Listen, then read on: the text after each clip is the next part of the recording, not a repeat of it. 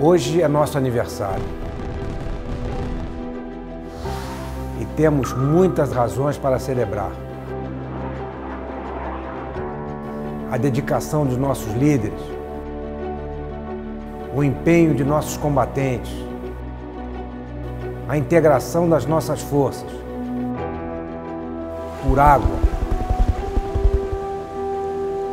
por terra, por ar. A dedicação exclusiva de nossos homens e mulheres, militares e civis, sempre prontos a responder, e a confiança da pátria de que sempre estaremos aqui, apostos e empenhados por nossa grande nação. Ministério da Defesa, 21 anos ao lado do povo brasileiro.